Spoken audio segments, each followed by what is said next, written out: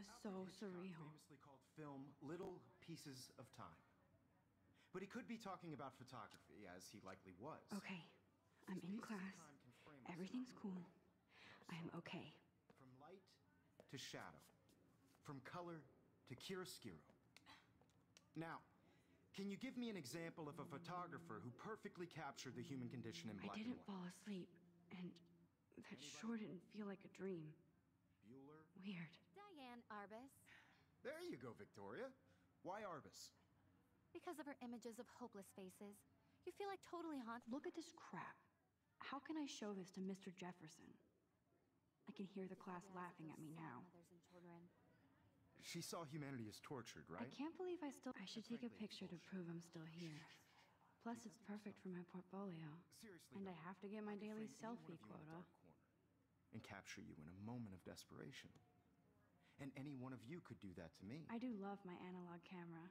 Isn't that too I should take a quick picture now. obvious? What if Arbus chose to capture people at the height of their beauty or innocence? She had a brilliant eye. So, she could have taken another approach.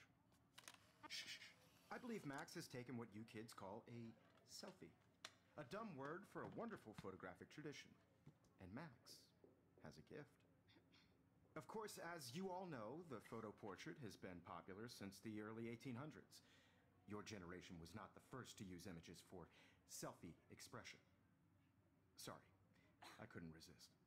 The point remains that the portraiture has always been a vital aspect of art and photography for as long as it's been around.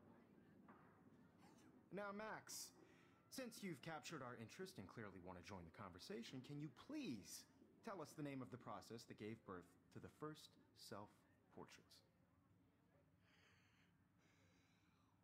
You're asking me? L- let me think. Um, You either know this or not, Max. Is there anybody here who knows their stuff? Louis Daguerre was a French painter who created daguerreotypes, a process that gave portraits a sharp reflective style like a mirror. Now you're totally stuck in the retro zone. Sad face. Very good, Victoria. The Daguerrean process. I can't believe I still have this pencil case. I should upgrade to the 21st popular from the century. But I like it old school. If anybody else looked at this, what would they think?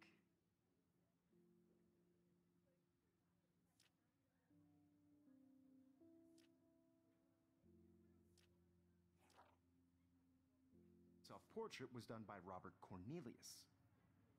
You can find out all about him in your textbook or even online.